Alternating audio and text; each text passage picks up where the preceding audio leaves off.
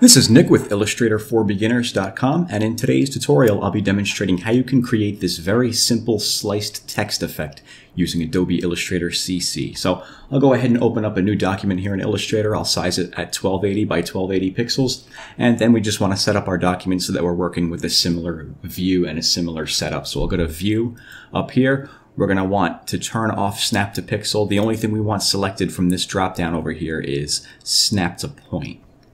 After that, we'll go over to window and we're going to want align, color, and gradient so that we have all three of these panels right here visible on the right hand side. And once we've done that, we could just go ahead and grab the text tool and create some text. So I'm going to grab the text tool and click on the canvas until we get uh, some placeholder text right there. And from this drop down, I'm going to choose a specific font called Montserrat Heavy.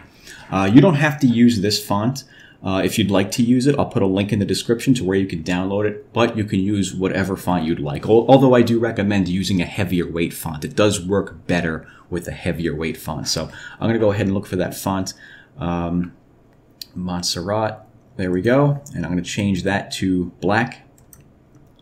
And now I'm going to change the text just to say sliced in all caps. Now I'll go ahead and grab the uh, select tool and I'm going to hold shift and alt and I'm going to grab that corner arrow, that corner node right there and just scale this up so we can see this better. I'll put this towards the center of the page. So what I want to do now is take this text and create outlines out of it. So I'll go to uh, type and I'll click on create outlines. And I will take the opacity of this up here and bring this down in half. And we can click out of that to close out of it. And what I want to do next is I want to bring the cursor just outside of this top right point right here until the icon turns into a rotate icon as you see here on the screen. Once it turns into a rotate icon, I'm just going to click and drag it counterclockwise slightly, maybe about that much. And what I'll do now is I'll grab the, um, the rectangle tool and I'll just create a rectangle going over the top half of that text. Just like that. And I want to bring the opacity of this down as well. And what I'm going to do next is I'm going to, I'm going to grab the select tool and I'm going to zoom in on this. I'm going to hold alt and roll up the mouse wheel to zoom in.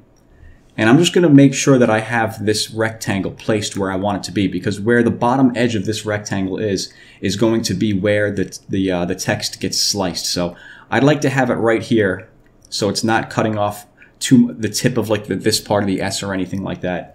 Or it's not leaving out, uh, like right here, there's going to be a little portion of the E sticking out from there. Maybe I'll bring that down a little bit. Do something like that. That's pretty good. And once we've done that, I'm going to click and drag over everything so we have everything selected. And I'm going to go to the uh, Pathfinder tool, which is right here. I'm, I'm sorry, no, the uh, Shape Builder tool, which is right here. And I'm going to hold Alt and click on the negative space of this D right here to delete that. And while still holding Alt, I'm going to click on this large rectangle to delete that. And what I'm going to do next is I'm just going to click and drag through the top half of these letters.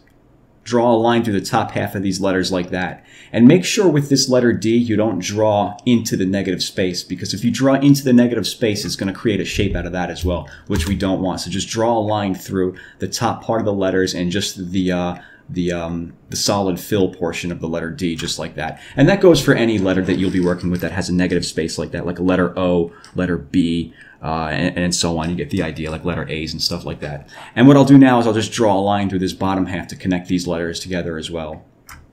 Just like that. And I'm going to go to the select tool and click off of the graphic to deselect everything. And if you notice now, we've sliced the text in half. So what I'm going to do next is I'm going to take the bottom portion of this text right here and I'm just going to click and drag it to the left and I'm going to hold shift so it locks it onto the horizontal axis. I'm going to shift it over maybe that much like that. And let me zoom out so we can get a better look. If you want to move the page around like I'm doing, you just press down the space bar and click and drag.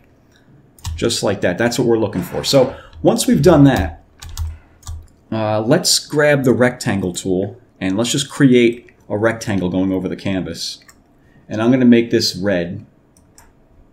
And I'm going to send that to the bottom. I'm going to grab the select tool. I'm going to right click on that red object and I'm going to arrange, send to the back just like that. And I'm going to take these text objects right here. I'm going to hold shift and click on all of the text objects.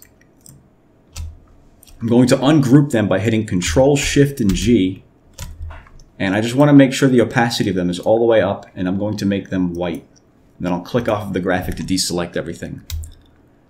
And the final part would be to put a little bit of a shadow, or uh, the illusion of a shadow anyway, on the top portion of this text. So I'm going to hold shift and click on all of the top text layers and I'm going to group them together by hitting control G on the keyboard. And over here in the gradient menu where it says type, I'm going to choose linear to create a linear gradient. And now I'm going to go to the gradient tool and I'm just going to click and drag a line going from here to here like that. You know what? Let me undo that. Control Z to undo if you make a mistake. I'm going to start, let me zoom in. I'm going to start right about here and I'm going to click and drag and then hold shift to lock it onto the vertical axis. I'll drag it down to about there. And if you don't like how it comes out, like I said, you could just undo it by hitting Control Z and you could try again. I'll try putting this up a little higher like that. Maybe something right there.